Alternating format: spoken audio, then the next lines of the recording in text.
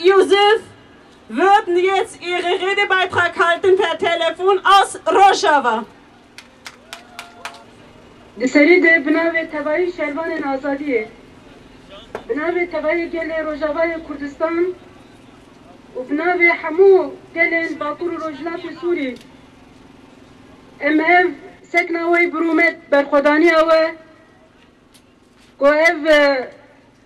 زیده بیست روژانه هون لسر لنگان ام سلاف دکن و پیروز دکن و ام دبیجن اف برخوادانی و اف مشا پیروز اوه تقز بسرکرتنه و بداوی ببن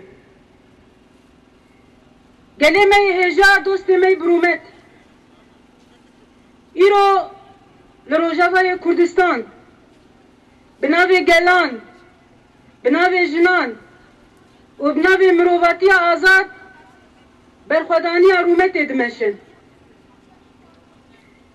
لسر گلی من ایرو دخوازن کنکوژی پیش بخیرن داعش آنوژن بناوی اردوغان و بناوی چته ایوی تشتی گونی کاری بیون لکوبانه بکرانا تشتی گونی کاری بیون روژاوای کردستان پیش بخستانا کۆمکوژیە گۆداش نکاری بوو بەسەر خستایە ئیرۆ اردوغان و چەتەوێ دخوازم پێش بخینم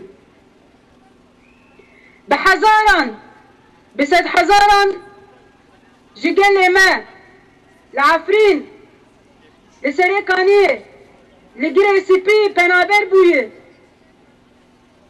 هەموو ڕەنگەن سلاحن قەدەخەکری لەسەر گەلێمە دبارینن وحتى روجا إيرو تفقو دروا لدنيا دكين دبي اقربه سيني بلي شرنا هاتي راوستاندين و كومكوجي بردوامن ایرو دخوازن کو باجار ما جملت وی تنه بکن و دخوازن شونه وی چته خو هر وها دخوازن لوی داری حزامه کی پیش بخینن ku Bakur û Rojavayê Kurdistanê ji hev qut bikin û dixwazin ku paqijiyekî etnîkî pêş bixînin. Ev jî sûcê mirovatiyê ye. Dixwazin nekewên yekbûyî tevî vê plana qirê jî bikin. Ji bo wê jî banga me ji bo netewên yekbûyê ew ku divê çavê xwe li ser vê komkujiye negire. Удивление бешрики Erdoğan dükün kuzuya gelemedi. Her oha bangameş bu geleme. Uji bu tebayi dosti Kurdan, dosti Bakur Rojlat Suri. Tebayi jinen azadi khwaz ew ko em ev şoreşa gelan, şoreşa jinan xwedî derkevin. Erdoğan û çetê xwe Erdoğan û kesên û hêzên ku destek didin wî dixwazin şoreşa Rojavayê Kurdistan bifetisînin.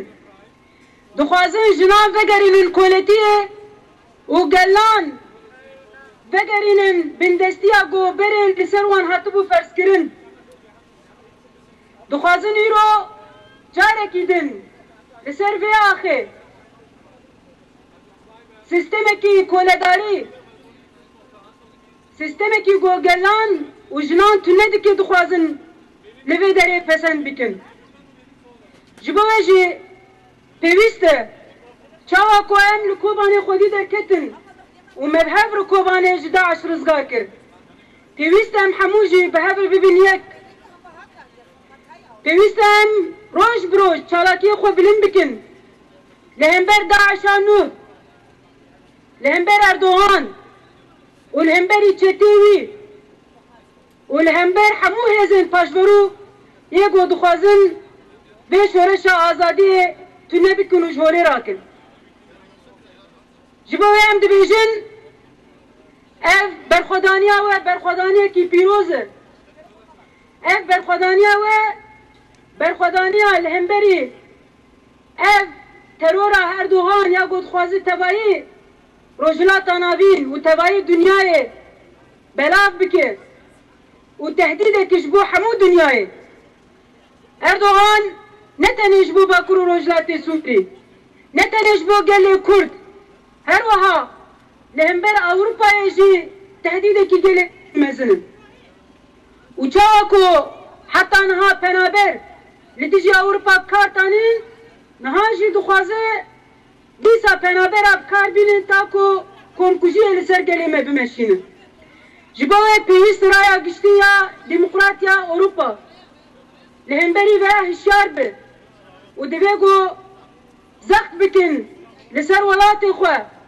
li ser yekîtiya yekîtiya Ewropa û li ser yekîtiya netewan ku rê nedin tiştekî wiha ji bo wê banka me ew ku tevayê gelê me li pêşiya ciyên yê netewên yekbûyê لپیشیا مرکز آنته و یک بویه چالاکی بکن و پیشیا فی تشتی بگرن و اف طلب ترکا یا گود خوازه انسان چطه بینن دولات ایمد بجی بکن انویل اسکه حمو به هف روالا درخینن اول اسکه اسکه که گلی که خطره و پیویست هم حمو پیشیا بگرن لسر بی اساسی ام دبیجن ام مشاوی پیروز بر خدا نرومت یا گو دل مجیل جلوه داره پیش خسیر بر خدا نیاروجانه جهیلا هزین یه پیگه و یه پیجه قهرمانی هزین قصده اوه تقص به انجام نمینه.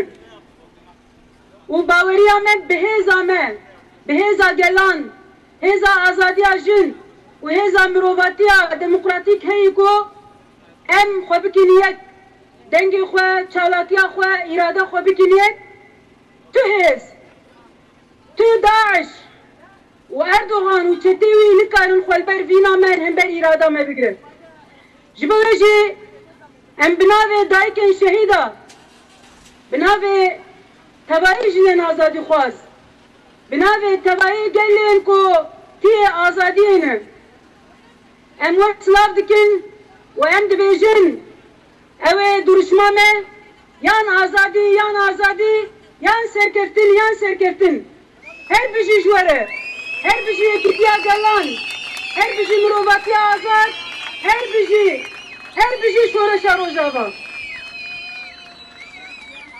Jin, jiyan, azadi, jin, jiyan, azadi, jin, jiyan, azadi. Ich werde höchstwahrscheinlich nicht wortwörtlich übersetzen können, aber ich gebe mir Mühe, ich werde den Inhalt wiedergeben. Das, was Hawal Yusuf gesagt hat, im Namen von Rojava sage ich einen großen Dank an alle Freunde und Freundinnen in Europa und ganzen Völker, auch an Kurden und Kurdinnen in Europa. Ihr seid seit, seit Wochen auf Straßen und mit dem seid ihr unsere Stimme. Seit 9. Oktober hat diese ethnische Säuberung im Norden Syrien, der sogenannte Rojava, kurdischen Gebiet, stattgefunden. Mit militärischen Angriff der Türkei und seine verbundenen Dschihadisten, IS, die aber langsam einen anderen Form und anderen Namen annehmen, versuchen sie das zu erreichen, was sie im Kobane nicht erreicht haben. Rojava steht für das, wovor Erdogan und, und seine verbündeten Dschihadisten Angst haben. Es steht für Frieden, steht für Freiheit und Demokratie.